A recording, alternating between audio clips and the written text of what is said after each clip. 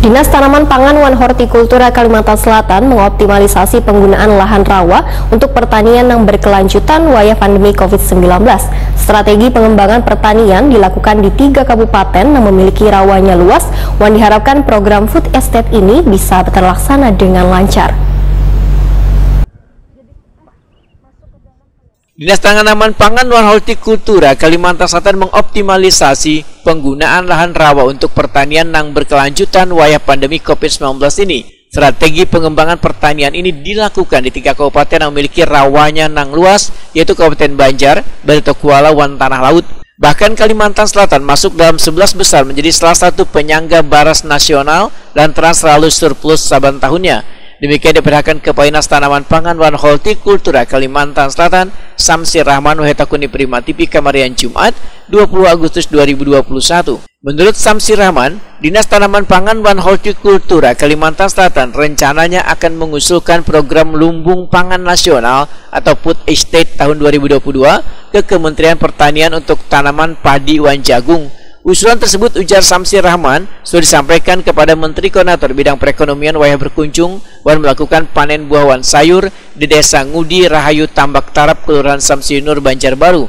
Sedangkan lahan yang diajukan sebanyak 25.000 hektar berada di enam kecamatan di Kabupaten Batola, Wan Tanaman Jagung, yang berada di empat kecamatan di Kabupaten Tanah Laut. Dari Pak Menteri Pertanian terhadap Kalimantan Selatan. Yang kedua, nanti dengan Pak Menko kita akan mengajukan program food estate. Jadi program food estate ini ada di dua kabupaten. Kabupaten Barito Kuala itu adalah 25.000 hektar untuk padi. Kemudian untuk tanah laut itu adalah tanaman jagung. Untuk food estate di area uh, Kabupaten Barito Kuala itu ada di lima kecamatan satu hamparan. Jadi lima kecamatan nyambung semua satu hamparan, yaitu Kecamatan Belawang, Kecamatan Anjir Pasar, Kecamatan Anjir Muara, Kecamatan Mendestana, dan Kecamatan Tantau Bedauh. Ya, yang paling banyak itu lokasinya ada di Kecamatan Anjir Pasar, kurang lebih ada 6.876 hektar. Total Barito Tokoa dengan satu hamparan adalah 25.000 hektar. Kalau jagung juga ada di 5, kabo, 5 eh, kecamatan di Kabupaten Tanah Laut, ya mulai Batu Ampar, Jaurong dan sebagainya itu nanti juga 25.000 hektar.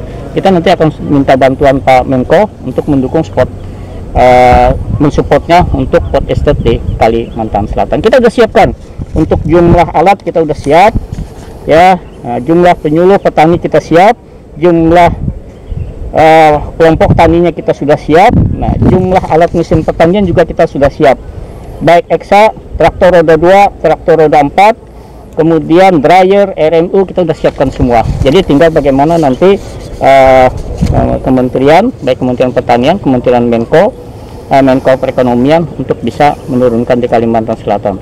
Kita siap untuk petani karena pada saat COVID pandemi seperti ini hanya sektor pertanian yang mampu bertahan.